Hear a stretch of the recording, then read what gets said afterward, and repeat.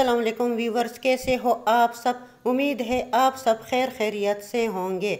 आज मैं एक नई वीडियो के साथ हाजिर हूँ।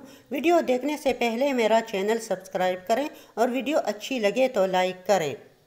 वो ख़वातीन जिनका वज़न ज़्यादा है और मोटापे की वजह से परेशान हैं, बहुत से इलाज आजमा चुकी हैं, मगर वज़न कम नहीं होता।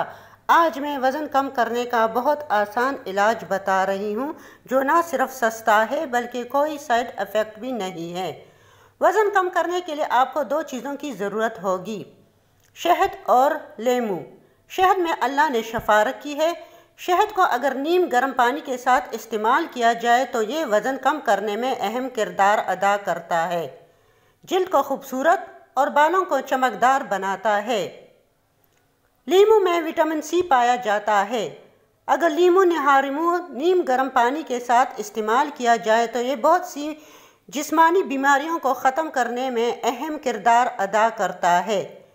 लेमू तेज़ी तेज़ी से वज़न कम करता है। अब ये दो चीज़ें, शहद और लेमू, किस तरह इस्तेमाल करनी है, इसका मैं तरीका बता दूँ। सुबह नहार मुँह, नाश्ता से पहले एक गिलास नीम गर्म पानी में एक खाने का चम्मच वन टेबल स्पून शहद और आधा लीमू पानी में मिक्स कर लें और पानी पी लें। रोज़ाना ये पानी पीने से आहिस्ता आहिस्ता वज़न कम हो जाएगा। कोई साइड इफ़ेक्ट नहीं है। मर्द और ख़वातीन दोनों इस्तेमाल कर सकते हैं। इसके साथ ही मैं इजाज़त चाहती हूँ। अल्लाह हाफिज़।